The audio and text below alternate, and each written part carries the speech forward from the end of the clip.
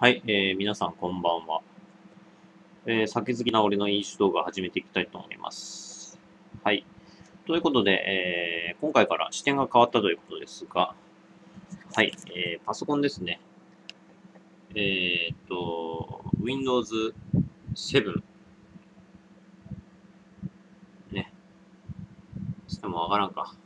うん。まあ、パソコンディスプレイは変わってないですけど、はい、こちら。パソコンのね、はい。はい、パソコンが、ね。まあ、買いました。ということで。ね、スペックの方は、結構、ね、すごいです。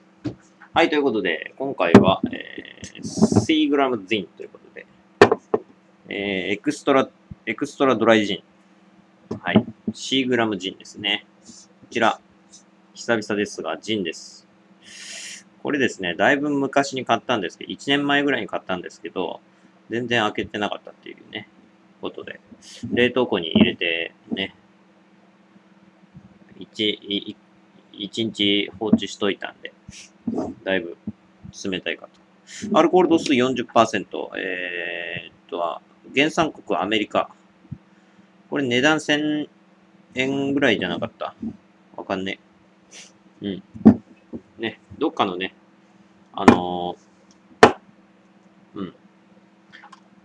えー、っと、えー、なんだっけ、格安か。格安で買ったんですよ、これ。うん。普通に手に入らなかったんで。どうしても飲みたかったんでね。欲しかったんで。格安で1年前に買って。うん。ね。えっ、と、容量が 750ml なんで、割とデカめ？なのかな？うん。ということです。はい。ね、かっこいいですね。ちょっと模様がね、入ってますけどね。ね、いい感じに模様が入ってます。うん。そして、えーなぜジンかというと、えーコメントがありまして、えーこういう暑い日にはね、あのー冷凍庫でキンキンに冷やしたジンを飲むとうまいぜ、みたいな。ね。よし。確かに。そういえば、ね。ここ最近全然ジンを飲んでなかったなと思いまして、えーロックで、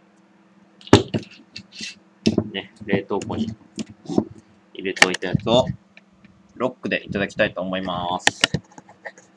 それでは乾杯。これ分かりづらいですね。あの、これ、ステンレスだから中身見えないからね。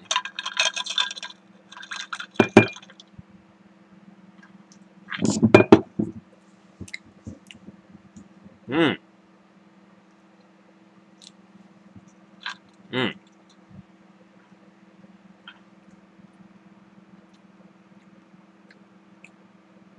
うん。香りが弱い。うん。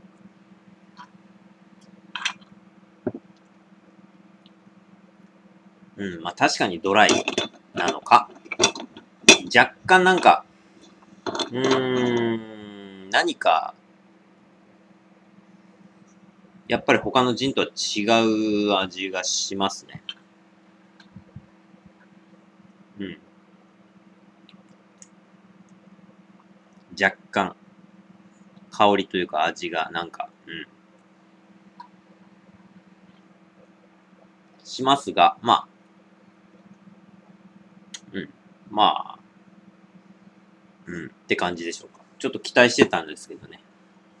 すげえ、ね、飲みたかったんですけど、これ、かっこいい名前だし。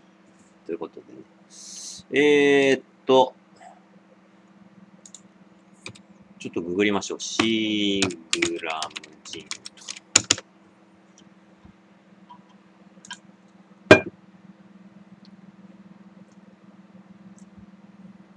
うん、若干やっぱりちょっと、うん、微妙な味がするな。えシーグラムジン、アメリカが誇るトップセラージンだって。本当か？ん？てか、よくよく考えたらアメリカか。ジンでアメリカは珍しいかもしれないですね。えっ、ー、と、楽天だと951円となってます。えー、アメリカのトップセラージン。ジンが、えー、解熱剤としてオランダの薬局で販売されたのが1660年。その名称はジュニパーベリー。はあ。え？ジュニパーベリーのフランス語、ジュニエーブルにちなみ、えー、ジュニエーブルワインと名付けられた。ややこしい。後にそれがジンと省略され定着したという。あ、そうなんだ。ジュニパーベリー、かっこ、これなんて読むの？ヤシロ、松、のみ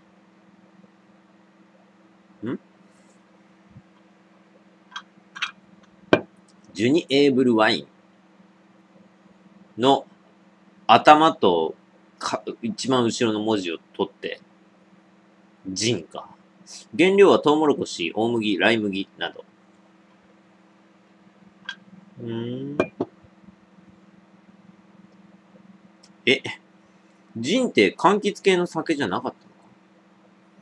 植物成分としてはジュニパーベリーの矛、ココリアンダーシーズ、キャラウェイシーズ、シナモンオレンジやレモンの皮、各種薬草、香草が使われ、それらのバランスによって個性のある、えー、香味を生み出している。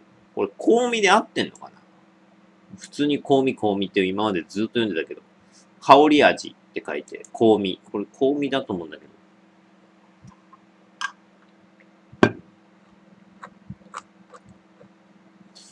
うーん。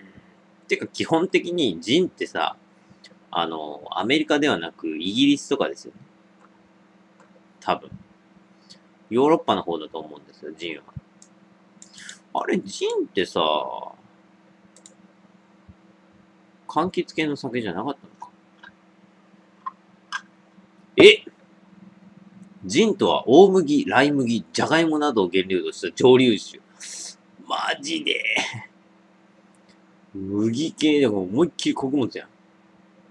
普通に誰かにあの、か柑橘系をなんか発酵させた酒だよとか、俺、ドヤ顔で言ってたんだけど。やば。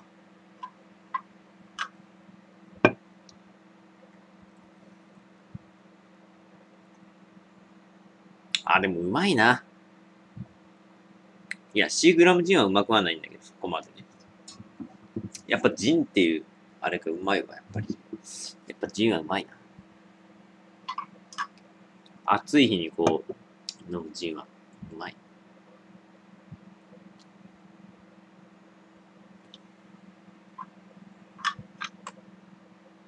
うん。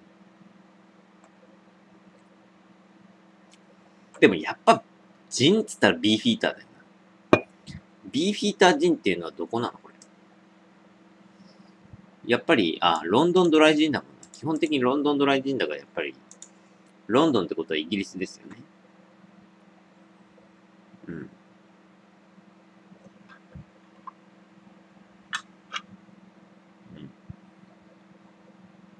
うんん？ロンドンでイギリスだよね。ちょっとなんか適当なこと言ったけど。だ大丈夫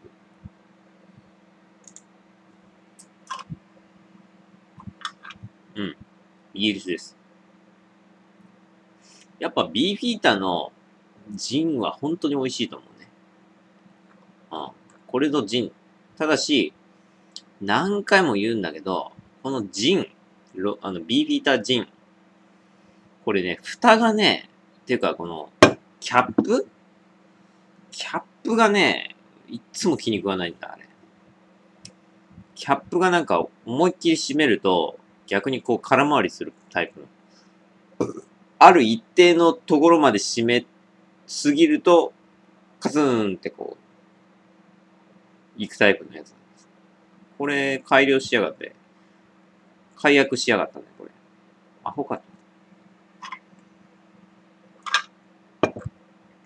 昔のこういうさ、このさ、なんていうの？アル、アルミ？のやつが良かったんだけど。しっかり閉まんないから嫌なんだよな。マジで。嫌になってくるよな。うん。やっぱり、ジンはオランダとか、ドイツとか、イギリスとか、ヨーロッパが、えー、主に、ね。まあ、ジンの発祥の地なのかは知らんけど。ね。少なくとも超うまい。一般的にうまいと言われるのはやっぱロンドンドライジンでしょうね。うん。で、ロンドンドライジンといえばやっぱり、ね、ビーフィーター。あとは、ゴードン。かな。ギルビーはこれどこの会社だった？てかどこだ？ギルビージンってこれ、どこ？どこのこれ？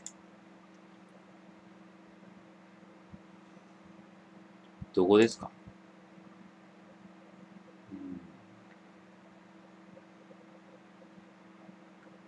あ、イギリスかな？ん？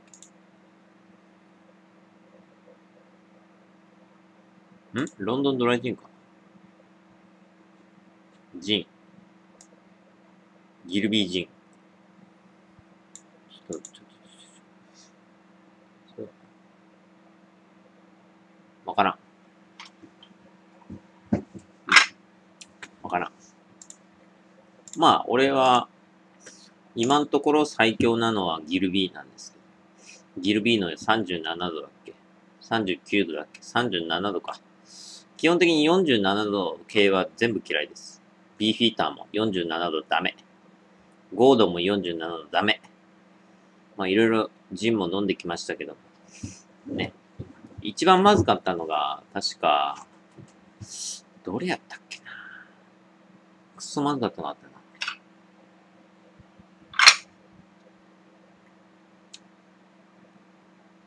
何やったっけな。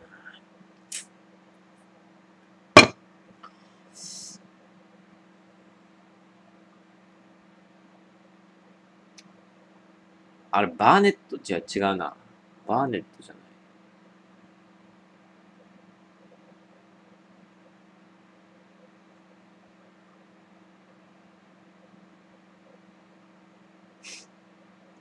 い。わかんねえ、忘れた。くそまずかった。いや、これもあんまり美味しくない。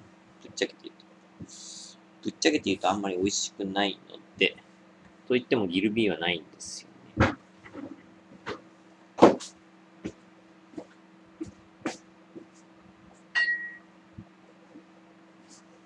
方ない。ギルビーがないなら仕方がない。でーでってでーん。でれってれてー。はい、ビーフィーターちゃん来ました。だがしかし、これは、47度なんですよ。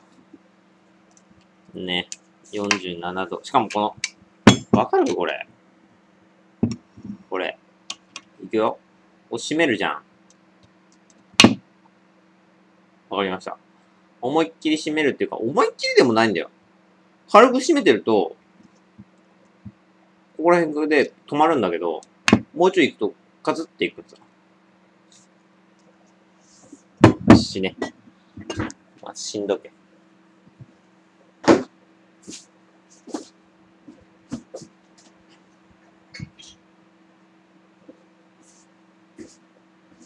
絶対これ作ったやつ、あれだぞ。俺が会社作ってたら確実にクビだぞ。こんなギルビー、じゃあビーフィータージンという超有名なジンを瓶のせいでなんか買い、買う気がなくなった的な感じになるのは、なんだよこれ。腹立つな。思いっきり締めたいんだよ、これ。思いっきり締めたいっていうか、その、ね。こぼれると悪いから、やっぱり、そんなさ、軽く締めたくないじゃん。普通。ねビーフィーター、ジン。まあ、これはもう見るからになんかイギリスの、あの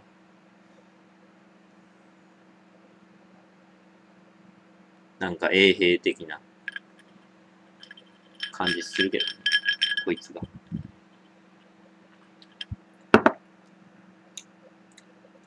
うん、やっぱりね、この癖がなくて、香りが強くて、癖がないのがやっぱな、いいね。シーグラムジンは若干癖があるな。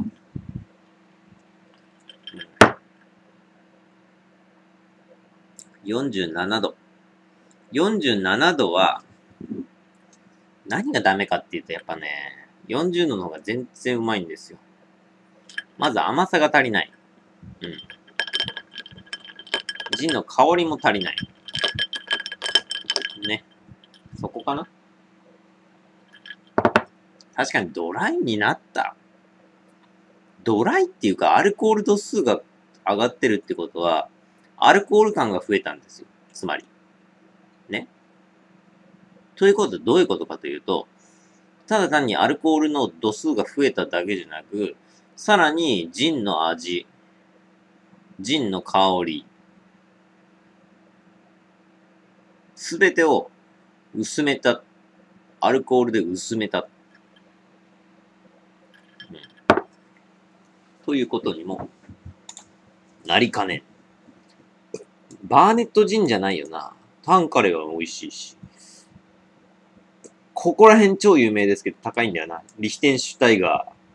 あれ？リヒテンシュタイ、あ、リヒテシュタインヘーガーとか、これ高いよな。エギュベルジン。ああ、これも飲んだことないっけ。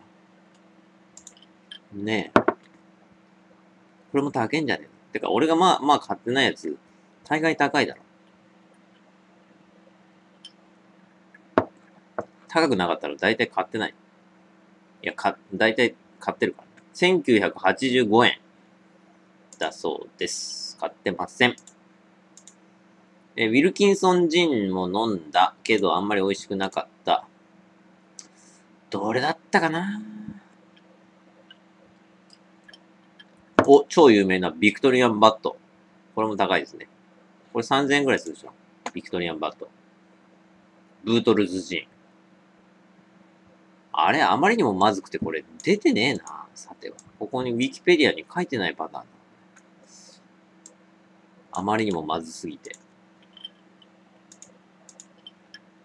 あの、くっそまずかったジン。うお、ブートルズもかっこいいなあれが、絵柄が。うわ、かっけえ。なんじゃこりゃ。超かっけえ。ブートルズ。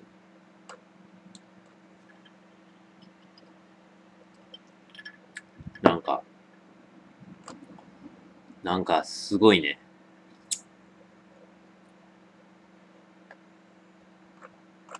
すごい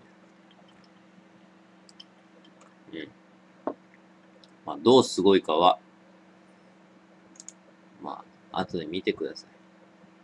あ、そういえば、ボンベイサファイアとかが書いてねえな、ウィキペディアにな。ボンベイサファイアも美味しいんだよな。うん、まあ、ちょっとググりましょう。ジン。クソまずかったジン。あの、ねえ。あ、あったもういきなりあったアブソルベントジンだ。これクソまずかったん。クソまずかったんっていうか、ぶっちゃけ癖が強すぎた。今までで一番強いね、これね。くっそ強い。アブソルベントジンっていう。これがね、ものすごいです。うん。787円という激安価格。さすが。さすがっす。さすがっす。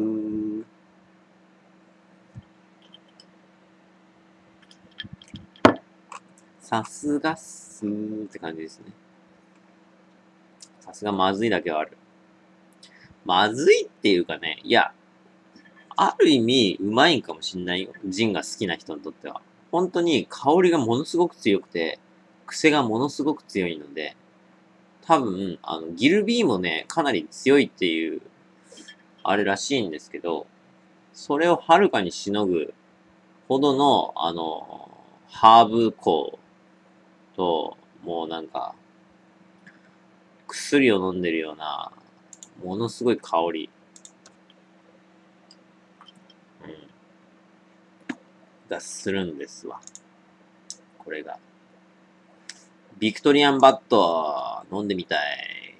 そもそも売ってない。2800円。ほらな、これ高いんだよ。ビクトリアンバット。ただ、ね、見た目はかっこ悪いですけどね。まあ、個人的に次ちょっと飲んでみたいのは、まあ、ビクトリアンバットも飲んでみたいんだけど、ただ、やっぱタンカレーのナンバー10を飲まずして、ジン好きは語れないかなという感じではあるんですよ。うん、ただし個人的にタンカレーはあまり好きではない部類のジンなんですよね。まあこれ、そもそも47度なんで、個人的にちょっと、うん、っていう感じなんですよね。だいたい47度のジンって、外れしか今んとこ引いてないんですよ。うん。まあ、単価例はその中でも一番マシな方なんですけど、ただ、うん、って感じかな、と。うん。確かに、みんなしてうまいうまい言うでしょ。高いし、じゃ、まあ若干高いじゃん。ね。そこらのジンと比べたら、若干高いわけでしょ。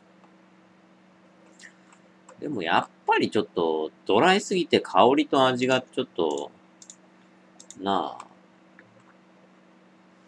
ドライすぎてちょっとなあっていう感じはあるんですよ。うん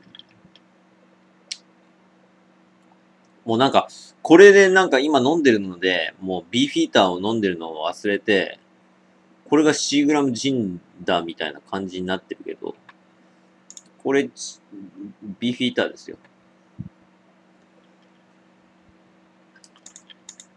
うん。ね。うん。でも、ビーフィーターもビーフィーターでね、柄かっこいいんだけどね。ただこれ47度だからまずいんですよ。40度だったらもうめちゃ美味しいんです。ね。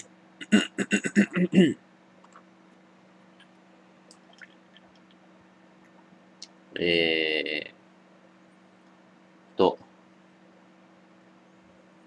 うん。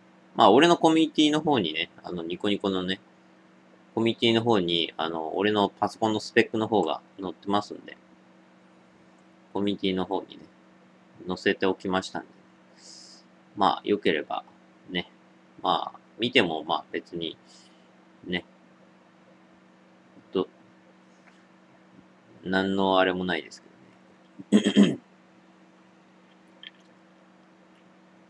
マジで前のパソコンクソだったからな。そもそもまず OS が Vista。まずここでもう、もうドカーンです。いきなりもう、あの、爆雷を、ね、原爆を落とされたのこと、ボガーンとされまして、で、てかね、あの、OS が Vista Vista 言ってるけど、Vista ってね、Windows 7と、今これ7なんですけど、7とですね、最低動作スペックがですね、一切変わらないという。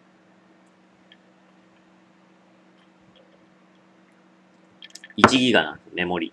メモリ1ギガ使うんです。Windows 7も1ギガです。ただ64ビットだと2ギガ。うん。32ビットだったら1ギガなんです。うん。いやー。まあ、それだけじゃないんですけどね。それだけだったらまだいいんですけど。うん。もう何でもかんでもね、あのー対応してない、対応してない。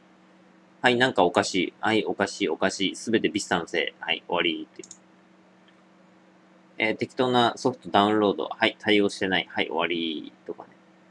はね、あのー当初、ものすごくあって、今はだいぶマシになったんですけど。でもなんだかんだで、あの不具合の嵐。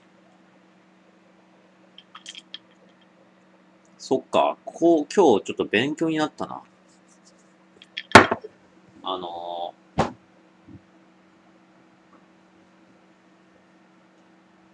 あれ。そっか、ジンってあれか、大麦からできてるんだな。それは知らんかったわ。そっか。ジンって大麦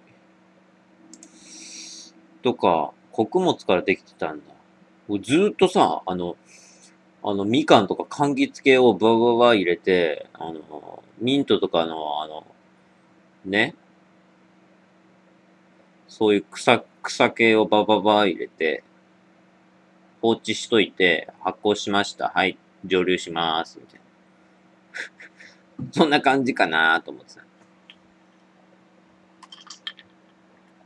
どんだけなんだよ。ジンを冒涜するにも程がある。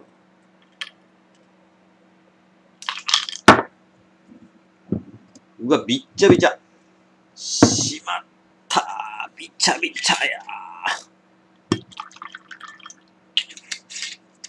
これだから、夏はね、結露でびっちゃびちゃになる。すっきりとした味わいのジン、タンカレーが超うまい。めっちゃうまい。だって。すっきりしすぎなんだよ、これ。そもそもジンっていうのは、ね、あのーまあ、大麦とか、ね、えー、トウモロコシとかを、あの発酵させて作ったお酒なんですが、ね。これ常識なんですけどもね。はい。なんですが、それだけじゃないんですよね。というか、それだけだったら、もうただの、あの、大五郎みたいな感じになっちゃうんですよ。大五郎ちなみにあれ、サトウキビですけど、まあ、サトウキビも穀物ですから、大して変わらないと。ね。なるわけです。が、この香りと、この独特のこの、うわ、シーグラムじゃうまくねえな、これな。二つ星以上。えー、そうですね。はやっぱり、ハーブ。まあ、いわゆるラベンダーとか、ミントとか、あと、なんだ、ね、セボリーとかね。まあ今、テイルズの思いついたやつを適当に言っただけですけど。ね、そこら辺を配合し、さらに柑橘系の、この、キリッとした、ピリッとしたこの味を、こう、すっきりしたっていうか、オレンジっぽい香りがするでしょね。ぶっちゃけこれが本体だと俺は思ってるわけなんです。やっぱり。ね。うん。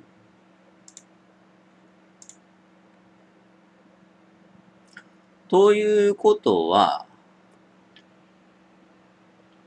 うん。どういうことかというと、やっぱり、ただ単に、その蒸留した発酵させた物がメインではない。ね。そういうお酒もあるということです。まあ、俺の中だとね。うん。しかしあれだな、ブートルズジンがものすごくかっこいいな。一番多分、あの、ジンの中で多分、一番かっこいいぞ。ブートルズジーン。かっけえな、これな。ね。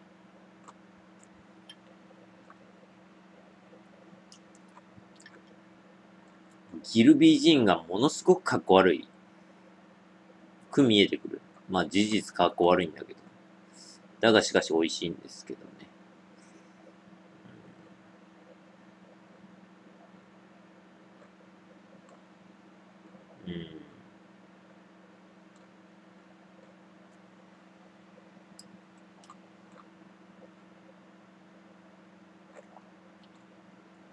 まずい。うん。まずい。やばい、なんか変な味がする。うん。これちょっと、あれに似てるぞ。アス、アブソロベントジンの、ちょっと後継機か、こいつ。やばいと、ちょっと。でもシーグラムジンもめっちゃかっこいいんだけどね。うん、ただまずい。見た目には騙される。まずい。断言する。ギルビー・ジーンは、かっこ悪いけど、うまい。間違いない。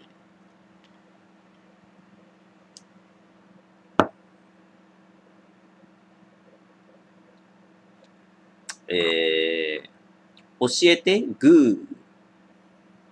ジンについて教えてください。最近よく一人でショットバーにカクテルを飲みに行っています。いいね。俺田舎すぎてさ、あの、絶対にあの、身内、身近に、あの、そういう酒のとこがないから、結局車を使うことになるんですよ。じゃ、車で行ったら、代行で、ね、ね、かかるわけですよ。金が。ということは意味ないんです。だから行かないんです。だから家飲んでるんです。家、家飲みなんです。で、えー、続きですが、決まったパターンでジントニックから始めてますが、お店によってジンは何かお好みがありますかと聞かれることがあります。初心者なので、お任せしますと答えていますが、そう、そろそろ何かリクエストしたくなってきましたと。えー、ジンにはどのような種類、特徴があるのか、または皆様のおすすめなどがありましたら教えてくださいと。ていうか、初心者なので、じゃなくて、あの、ショットバーにカクテルを飲みに行って、で、決まったパターンでジントニックから始めてるっていう時点で初心者ではないとは思うんですけども、うん、うん、うん、うん。何から、な、何を、あの、初心者でジントニックを毎回始めてるかは知らないんですけど、少なくともジントニックが好きな時点で、まあ、ね、というか、ショットバーにカクテルを飲みに行ってる時点でちょっと初心者ではないかなと思います。家飲みの俺からです。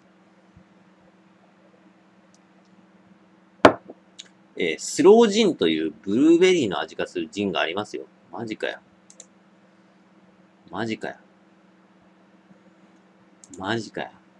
ブルーベリーの味がするジンって、それジンである意味ないんじゃないか。なあなあ。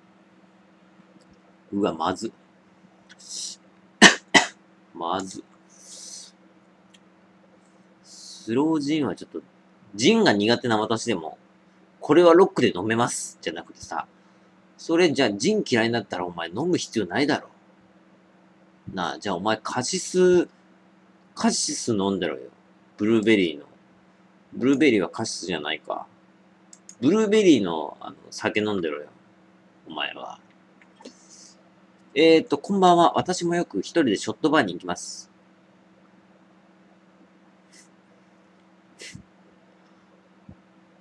えー、最初にジントニックを頼みます。そういえば、ジンは何にします？って聞かれたことあります？私もお任せでした。わらわら。じゃねえや。汗。作る人、店によって味が変わるのが面白く、〇〇さん、かっこバーテンの名前のジントニックくださいという時あります。ん？ん？〇〇さんのジントニックじゃあ、例えば、田中さんのジントニックください。っていうの？えわからないことはバーテンに聞くと教えてくれます。いろいろ質問してみると面白いですよ。いいな？行けるの？俺もショットバー行きたいわ。バー行ったことない、一回も。25歳。もう26歳になりますけど。ね。っていうかさ、ジントニック頼んでさ、ジンはた、何にします？って聞かれたことあります？って言うけどさ、普通聞かれるんじゃないの？違う。じゃあ、ジントニックって言ったら、当然ジンで割るわけだから、ジンを割るわけだからね。で、ジンって種類が腐るほどあるわけでしょということはだ、ジンを何にしますって聞かれるのが当然だと僕は思ってたんですけど、違うんですか、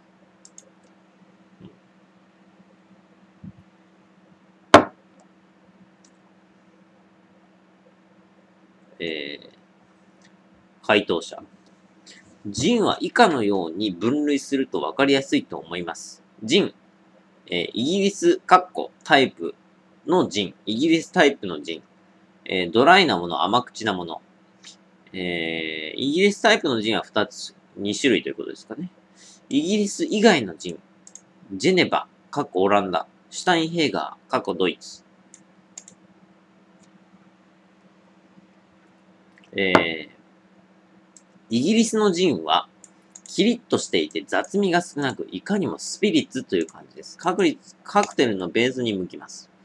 しかし、その中にもドライから甘口まで幅があります。甘みをつけたトムジンという種類もあります。ほー。また、ドライタイプに分類されるものでも、すごくドライなもの、ちょっとマイルドなもの、マイルドなものがあります。ビーフィーターがドライ、嘘つけ。嘘つけ。い、いいちょっと今見た、びっくりしたんだけど、ビーフィーターがドライ、タンカレーが中間？ボンベイサファイアが、まあ、これわかるか？ボンベイサファイアが甘口で華やかな味。といったところです。だって。うっそー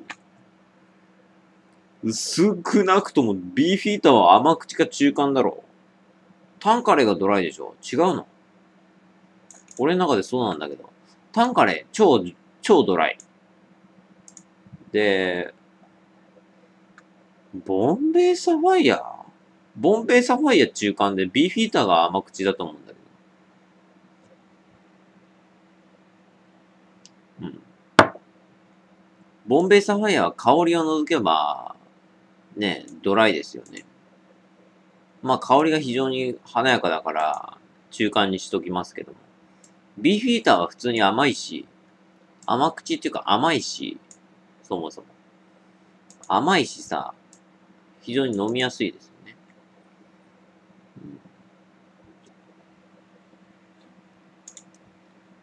うん、と、いろんなこと言ってますけども、あの、もう30、8分、40分ぐらい経つんですけど。うん。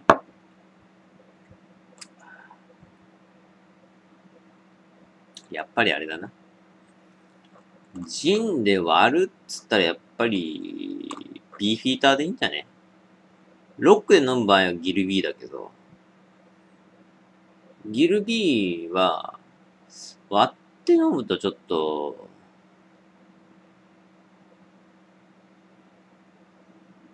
うん、あまりにも個性的すぎて、ちょっと主張しすぎるんで、あの、トニックウォーターの味を損ねる場合があるね。うん、俺の中だとね。うん。かといってドライなジンをあれすると、ビーフィーターの味しかほぼしなくなるんで、それを計算に入れて、やはりロックで飲む場合はかなり香りが強くて、まあ、ビーフィーターでもいいんだけどな、ロックはな。うん。うわ、まず。これ。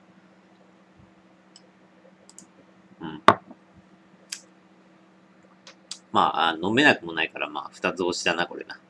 はい、二つ星です。それではご視聴ありがとうございました。